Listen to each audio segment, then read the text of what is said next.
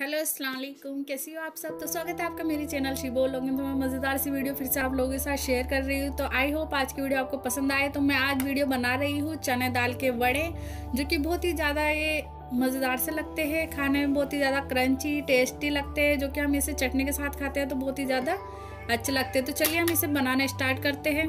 तो मैंने यहाँ पे पहले ही सवेरे के टाइम पे ही चने चना दाल को भिगो दिया था और अच्छे से मैंने इसे वॉश कर लिया है। तो अब हम इसे दर दरा सा पीस लेना है, ज़्यादा बारीक बिल्कुल भी नहीं करना है।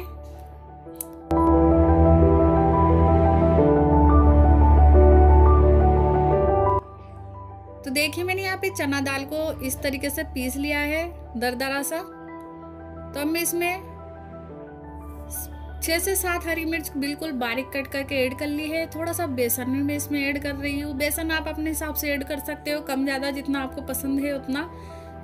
इसके बाद मैं यहाँ पे डाल रही हूँ भर के वन टेबल स्पून गरम मसाला। तो होममेड मैंने यहाँ पे गरम मसाला लिया है, जो कि मैंने इसकी वीडियो आपके साथ पहले ही शेयर कर दी है। उसके बाद मैंने यहाँ पे लिया है अक्खा खड़ा धनिया, जो कि धनिया की डोडी भी आप बोल सकते हो, वो मैंने लिए तकरीबन टू टेबल स्पून भर के। उसके बाद मैंने यहाँ पे ब्राउन चिली पाउडर लिया है। उसके बाद जीरा लिया है ब्लैक पेपर लिया है तो ब्राउन चिली पाउडर मैंने यहाँ पे टू टेबल स्पून लिया है, तीखे के अकॉर्डिंग जीरा लिया है one tablespoon turmeric powder लिए half teaspoon black pepper ली है हाफ़ टी स्पून नमक टेस्ट के अकॉर्डिंग तो अच्छे से हम इन्हें मिक्स कर लेंगे.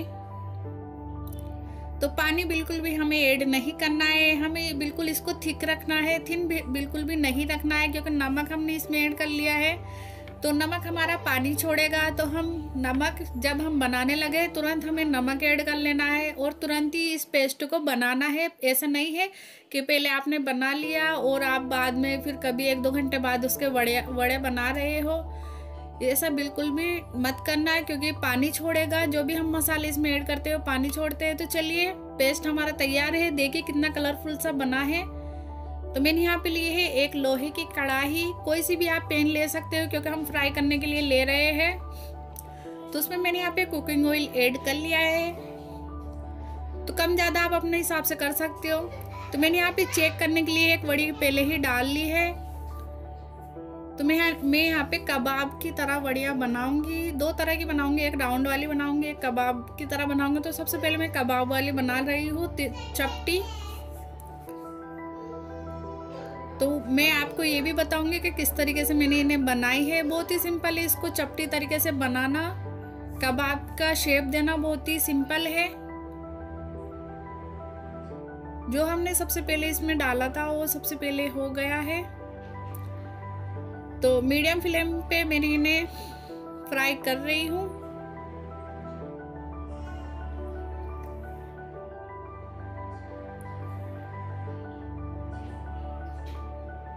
तो बहुत ज़्यादा हमें इन्हें क्रंची बनाना है, इसलिए मीडियम से लो फ्लेम पे हम इन्हें बनाएँगे। हाई फ्लेम बिल्कुल भी नहीं करना है।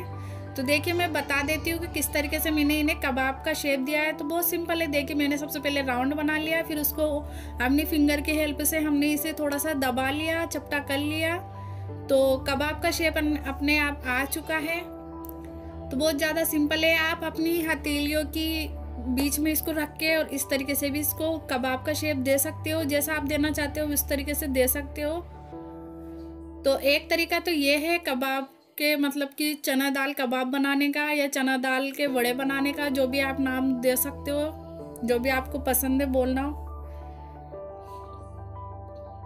तो एक तरीका तो ये है बनाने का। तो बिल्कुल लो फ्लेम मैंने कर दिया है, लो फ्लेम पर ही अब हम इसे दो तीन मिनट के लिए ऐसे ही छोड़ देंगे ताकि अंदर से बिल्कुल क्रंची बनी रहे, कच्ची बिल्कुल भी ना रहे। तो देखिए अब मैं राउंड शेप इसका बना रही हूँ तो इस तरीके से मैंने एक हाथ में ले लिया है। और इस तरीके से बहुत ही सिंपल इसको बनाना देखिए। हल्के से दबा के मैंने, जैसे कि गुलाब जामुन, रसगुल्ले हम बनाते हैं, उस तरीके से हमें बना लेना है। तो बहुत सिंपल है, इसका पेस्ट ज़्यादा थिन नहीं है। और बहुत ज़्यादा थिक भी नहीं है। तो पहले जो हमने कबाब डाल रखे थे, वो अच्छे से हो चुके हैं तो उन्हें निकाल लेंगे और कलर भी बहुत ही ज़्यादा अच्छा इनका आया है।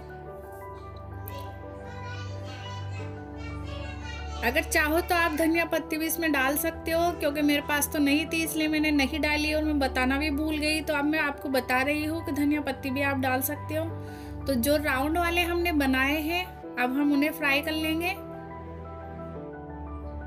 तो एक से दो मिनट के लिए हमें इनको बिल्कुल भी हाथ नहीं लगाना है। जब तक कि सेट हो जाए सॉरी मैं एक दो मिनट बोल रही हूँ। एक मिनट के लिए ही हमें इन्हें इस तरीके से छोड़ देना है और फ्राई होने के लिए फिर जब ये सेट हो जाए, तब हम इन्हें चेंज कर लेंगे।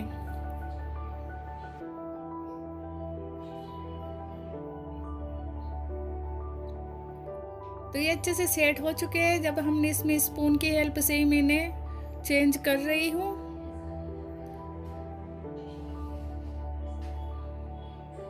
तो अच्छे से ये सेट हो चुके हैं सारे को ही हम इस तरीके से चेंज कर लेंगे।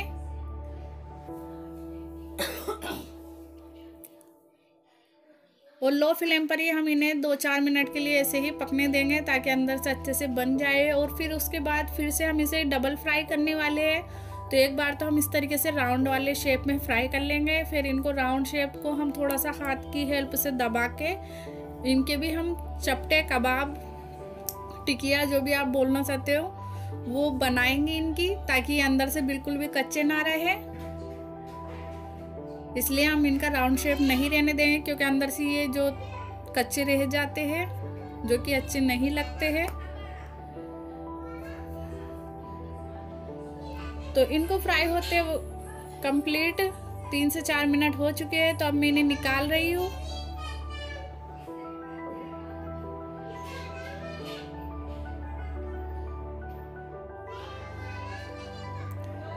तो जो हमने राउंड वाले कबाब बनाए हैं, उन्हें हम हाथ की हथेली पर रख के इस तरीके से चपटा कर लिया है मैंने। और फ्राई करने के लिए बिल्कुल लो फ्लेम पे हमने जो कढ़ाई रखी हुई है, उनमें तेल में ऐड कर लेना है। वो सारे ही कबाब हम हाथ की हथेली पे रख के चपटे कर लेंगे। और दो मिनट के लिए हम इन्हें ऐसे ही छोड़ देंगे फ्राई होने के लिए। तो सारे कबाब मैंने कढ़ाई में डाल लिए हैं, तेल में फ्राई होने के लिए। और लो फ्लेम पे ऐसे ही रहने देंगे। तो कबाब बड़ी हमारी बन के तैयार है तो निकाल लेंगे हम इन्हें और डिश आउट कर लेंगे। तो डिश आउट मैंने कर लिया है, आप इन्हें देख सकते हो कितने टेस्टी से लग रहे हैं, मज़ेदार से बिल्कुल।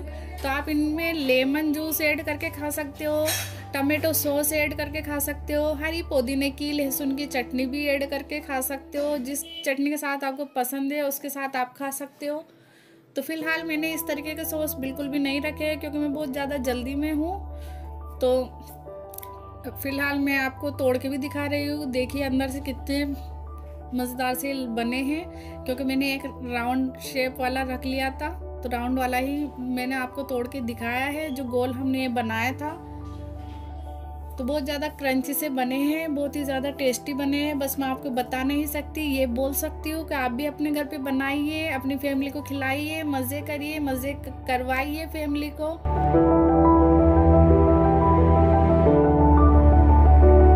आज की वीडियो पसंद आ गई हो तो शेयर करना ज़्यादा से ज़्यादा। अपने रिश्तेदारों के साथ, दोस्तों के साथ।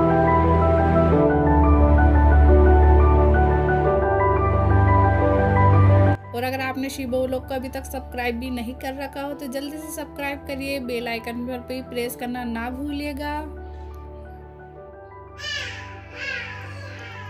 और अगर आपको किसी भी टॉपिक पर वीडियो चाहिए तो वो भी आप मुझे कमेंट के ज़रिए बता सकते हो कि किस टॉपिक पर आपको वीडियो चाहिए। इनशाला मैं कोशिश करूँगी कि मैं उस टॉपिक पर वीडियो बनाने की कोशिश करूँ और आपको खुश रखूँ। तो मैं फिर मिलती हूँ एक और नई बेहतरीन वीडियो के साथ। तब तक के लिए अल्लाह हाफिज़। बाय।